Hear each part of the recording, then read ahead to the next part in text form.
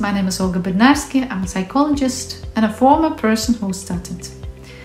13 years ago, I could hardly say my own name. I was terrified of using a telephone, of, of giving presentations, and job interviews were an absolutely no go zone for me.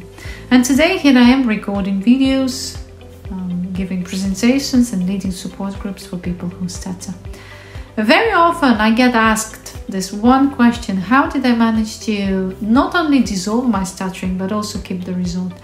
And the answer lies in my perceptions. I had to change my perceptions, I had to change my relationship with the world, the way I related to myself, other people, speaking situations, and the world in general.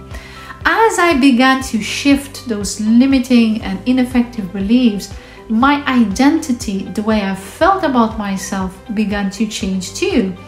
And with practice, as I experimented more and more, this new emotional state, this became my new identity. This new emotional state helped me to gradually form my new speaking identity.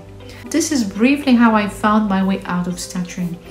And you can do it too. If that's what you want, you can do it too.